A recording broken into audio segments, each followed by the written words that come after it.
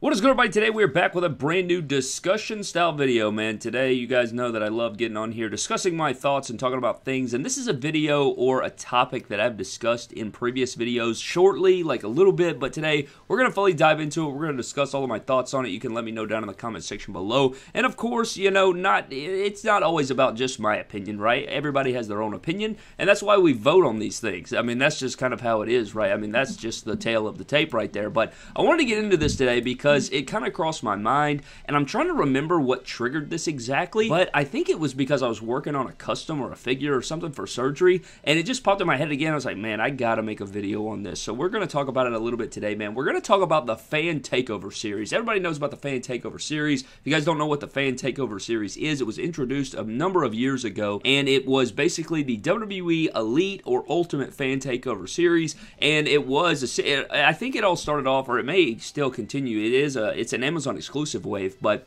it all started off with some elites where they take the fan takeover idea and they turn it into they turn it into a democracy. They turn it into a voter series right here where we're, we're all involved in damn Taboo Tuesday and we all get to vote on the attire that we want of a specific superstar. We've seen it over the years of different elite figures. We've seen Johnny Gargano, we've seen X-Pac, we've seen Adam Cole, Seth Rollins, Randy Orton. We got into the Ultimate Editions. We've seen a number of those now. We got to vote on those and everything like that. Jeff Hardy, Shawn Michaels, Ultimate Warrior, Goldberg, Triple H, Hulk Hogan. Seen it over the time. But the newest one, the next one that we're going to see, outside of the newest Seth Rollins figure that we reviewed on the channel a week ago, I think, or a week or two ago, which was the 2024 Ultimate Edition, we have the 2025 Ultimate Edition Mattel WWE Fan Takeover John Cena exclusive, and we probably won't even see this figure in prototype form until WrestleMania, unfortunately. But this figure right here, man, I discussed it a little bit, but I wanted to talk about it again. I want to know down below, and I don't think that we've been wrong every time, but there's a number of times we've been wrong. With this one, to me, is the most wrong that we've been. So this figure right here is the Ultimate Edition Fan Takeover Cena, and you guys know that I am a Cena guy. I, I love I love John Cena. He's my goat. I think that you know all of his figures to me matter. I have the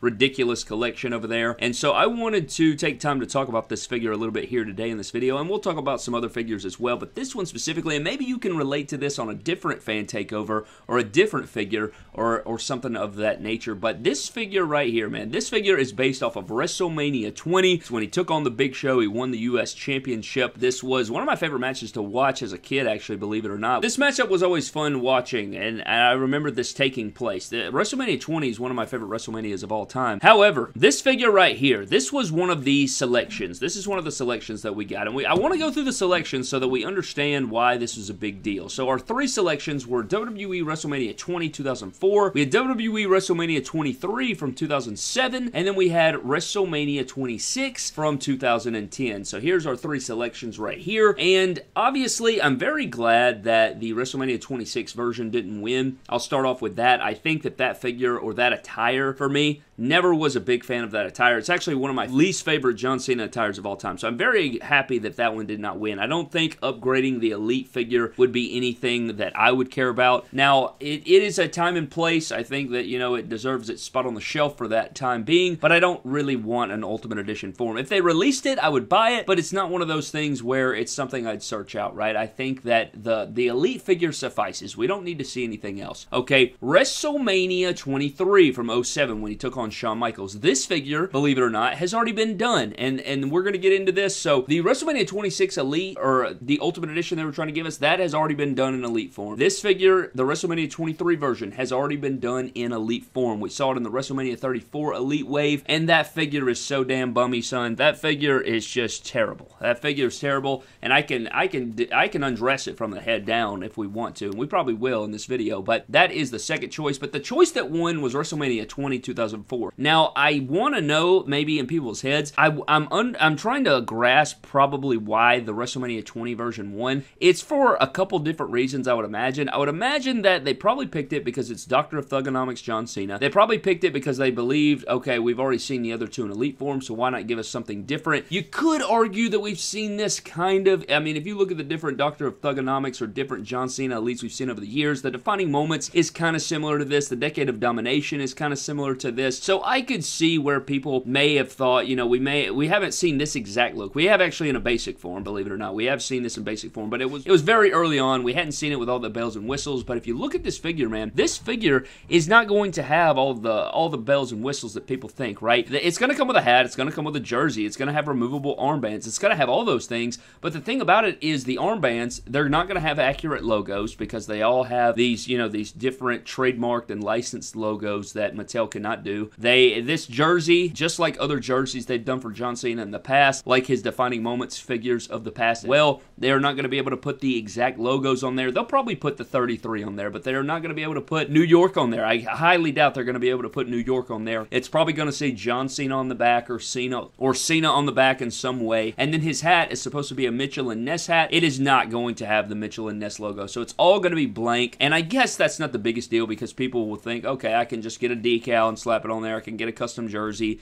I can do all those things. Good luck with the wristbands doing that. But I think that, you know, I, I, I just don't think that this was the right choice because, and I'm going to go into why I don't think this is the right choice, but it is a John Cena. It's a John Cena that I'm going to purchase, absolutely. I will be purchasing this John Cena, but I do think that it was a miss. This is a missed opportunity, in my opinion, and I'll go into why. So, going back to the WrestleMania 23 version, we have seen it in Elite form, but the hat and the arm graphics were very, very just not detailed. I mean, there was two colors. There's supposed to be like four or five different color palettes in this in this camo pattern. They only gave us two. The armband logos were really small and short. They weren't even really. I mean, they looked like one wrist tape. It looked very terrible. The hat color, like we discussed, is terrible. The shirt was way too small. It fit ridiculously tiny. It looked like he was wearing a damn Baby Gap t-shirt. So those are all things right there. And I again, this is the only green shorts John Cena Elite that we have ever seen. We have never seen another John Cena Elite with green shorts. This is the only one that we have seen, and it has the old John Cena shoe mold. So if you think, okay, if we if they made this an Ultimate Edition form, everything would be upgraded. They would upgrade this figure significantly. I bet they'd give us a non-Velcro shirt possibly. We could have you know sculpted on armbands that were accurate in color. They could redo the hat. They could redo all these things that they missed. The only thing good about that WrestleMania 34 Elite was the head sculpt. It was a very solid head sculpt that I enjoyed, but I think everything else could have been redone, and then that could have led to us getting, you know, taking that that fan takeover Ultimate. You could use that as a base, and then make other Cenas using other parts from other Ultimate Edition Cenas. But now that we're getting this WrestleMania 20 version, not that you can't use it as a base, because you absolutely could. I, I don't see how you couldn't. I think that you know, it's just going to be missing so many key details to the attire that it's just not going to be worth the fan takeover submission right there. Which I don't know. I think that getting the redo of the WrestleMania 23 would have been better, man. I just think that I believe that to my core, and I voted for the WrestleMania 23. I know that it, it didn't win, obviously, for or I wouldn't be making this video, but you know, Randy Orton's up next, and I I don't think they even reveal the they don't even reveal the, the poll results. They don't even reveal the results, man. They just get out there and do it, and then we show up, and it's like, oh, that one won. That's kind of how it is. But I guarantee guarantee the newest Orton, it'll probably be the WrestleMania 20 Orton that wins. I bet it won't be, you know, the 2017 Mania WrestleMania 33 Orton, which was the WrestleMania 30. That one probably probably needed to win because by God, that figure was terrible too. The WrestleMania Elite was terrible back in the day. The WrestleMania 34 Elite Randy Orton was dreadful. So that's another thing. But in the past, man, you know, we have seen mess ups like this before.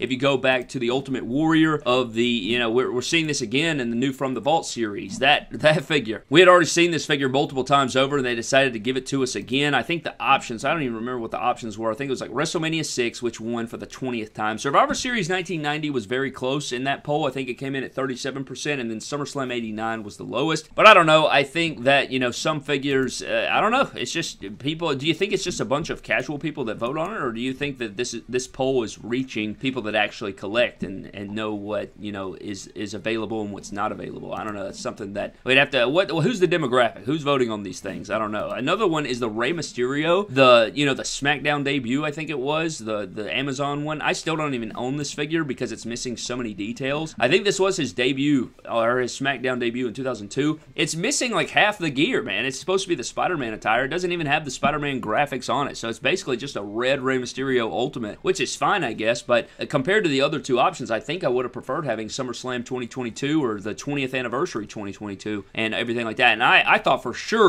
that the damn Elimination Chamber 2013 Shield Seth Rollins was going to win the Ultimate Edition vote. I thought for sure that was going to be the case, but it didn't happen. So I don't know. I, I, I don't ever have a gauge on these polls. I never know where people's heads are at because of different polls from the past, and it's just a thing. But if I if I could have had it my way, if I could have had it my way like damn Burger King Brad, I would have absolutely chose the WrestleMania 23 because now who the hell knows when we're gonna get a John Cena in green shorts? It just doesn't happen, man. It doesn't happen. That was kind of like the main thing, but getting a redo of that WrestleMania 34 elite was the dream, and it did not happen. But the fan takeover series kind of has a weird past. There's some figures. There's some really good figures. I think the best fan takeover ultimate they've ever done is probably the Shawn Michaels. I think that one was so good. I think the Rollins from this year was good, even though it's missing the chest hair and the tattoo. Obviously, those are big issues, but I think that that Shawn Michaels is one of my favorite ultimates they've done, the the the red and white one, and so I think that that one was really good as well. And I think off of those votes, I think it was what it was Survivor Series 95, King of the Ring 95, and King of the Ring 96, and King of the Ring 96 96 only lost by one percent.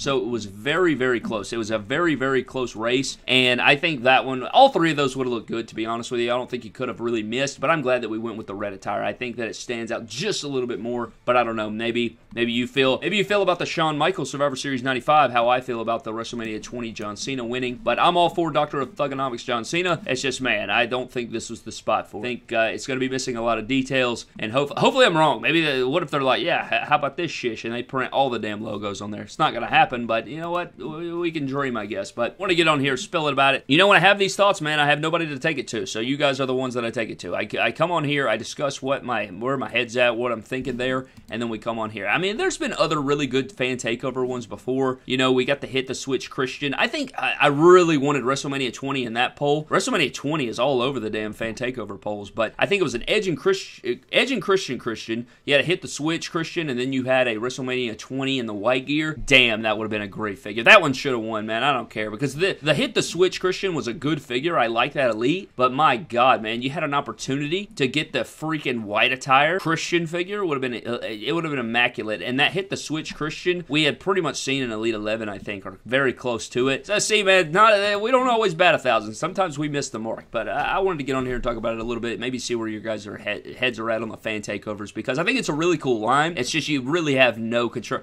I feel like my vote doesn't even matter. It's it's crazy out here, man. And I, I don't even know. I think you can vote unlimited times. I'm not even sure on that. Anyways, man, I want to get on here, rant about the fan takeover series, get a little get a little discussion going down in the comment section below. You can let me know what you think of that down in the comment section. I'm sure people are going to say that they prefer this version of John Cena or this figure of John Cena, but I wanted to get on here and discuss it anyway, man. So you can let me know what your thoughts are, and you can drag me down in the comment section. But I'm getting the hell out, man. Hope you guys did enjoy. Huge shout out to our Patreon members, man. You guys are amazing. Thank you guys so very much for everything. You guys are unbelievable. I appreciate all of you so very much. But I'm getting the hell out. I'll see you guys next time. Have a blessed. Let me know your thoughts on the fan takeover series down in the comment section below. Do you think we've? I, would like to add up the percentile on where I think we've missed, but I think we. I want to say it's about half and half right now. I want to say we're about 50-50 on it, but maybe I'm wrong. But I'm getting the hell out, man. I'll see you guys in the comment section.